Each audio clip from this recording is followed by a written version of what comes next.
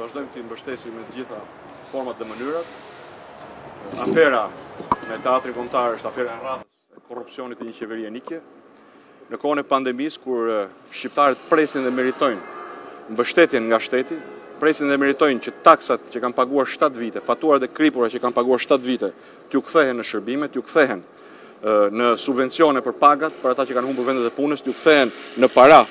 për familjet në nevojë, pikërisht në kohën e pandemisë, Edi Rama dhe banda e tij sulen për të tjetërsuar teatrin kombëtar, për të vjedhur pronën publike, për të shkatërruar këtë pasuri të kulturës dhe të trashëgimisë historike të qytetit, të kryeqytetit dhe të gjithë Shqipërisë. Pra, mesazhi është i qartë. Edhe në kohë pandemie, këta e kanë mendjen vetëm për të vjedhur. Këtë duan ta bëjnë në mënyrën më të dhunshme të mundshme. Ju e keni parë që për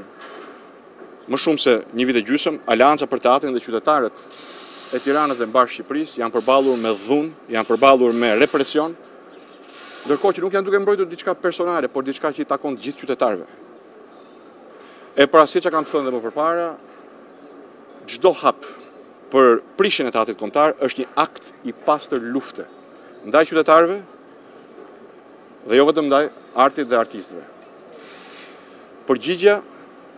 Është një përgjigje që nuk i takon vetëm artistëve, por gjithë qytetarëve. Ndaj unë i bëj thirrje sot në emër të Partisë Demokratike të gjithë demokratëve shqiptarë kudo ku ndodhen,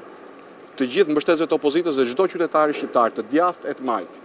që sot është në pasiguri për jetën, që sot është me tavolinë të boshatisur,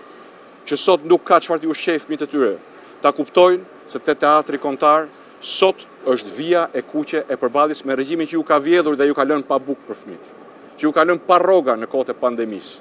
që ka nxjerrë zbuluar shtetin prej kartoni, i cili jua merr taksat, jua vënë gjobat, por kur ju keni nevojë për mbështetje, jo vetëm nuk kujtohet për ju, por vazhdon të vjedhë pasuritë tuaja për veten e tij dhe për një grusht oligarkësh. Nëse ky pushtet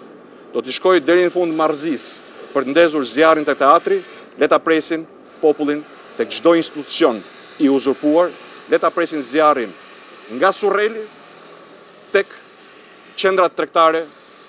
dhe objektet luksoze të oligarkëve të lidhur me krimin e organizuar. Kjo është thirrja ime ndaj qytetarëve shqiptarë, kjo është thirrja ime ndaj opozitës, teatri